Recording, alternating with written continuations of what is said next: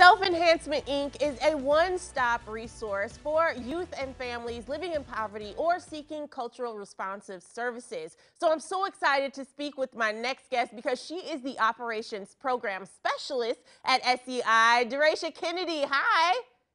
Hey, how are you? Oh, I'm so good. Thank you so much for being here. Thank you for having me. Now, can you tell me a little bit about SEI and its mission? Um, yes, SEI is a nonprofit organization uh, who is dedicated to serving um, underserved youth reach their full potential. And now you guys also have something called uh, wraparound services. What explain to me what that is? Um, it's basically where we support uh, students uh, from elementary school through high school and their families um, after the fact, like um, to create like community uh, service and lasting impact.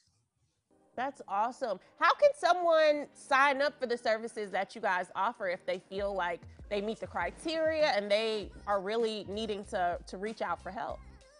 Yes, the families that are in need of like community support, like energy and rental assistance, we can go on to our um, SEI uh, Self Enhancement Inc. Sorry website and um, for students that are looking to get into the services that we provide, it has to go through um, in our in-service coordinators. Okay, okay. Now, I have also heard that you guys have a 98% graduation rate of youth involved with the with SEI and all your programs. What's the key thing to keeping that 98% going so strong? Like, what's the one thing that you guys do to make sure that that 98% really goes strong?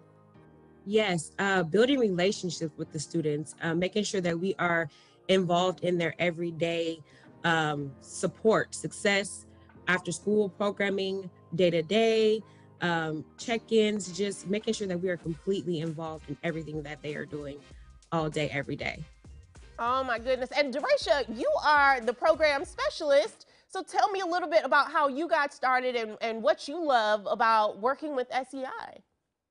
Yeah, so I um, started the program in sixth grade, uh, went to college and came back, and I just knew that SEI was where I wanted to uh, give back to my community.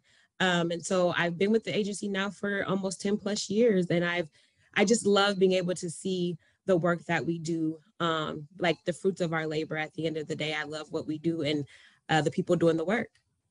Oh, you know, 10 plus years. I know you gotta love it. Thank you. Thank you so much for being here, Deracia. And everyone, you can uh, catch the Soul of the City on March 13th, airing on KOIN. We love that. Thank you so much for being here.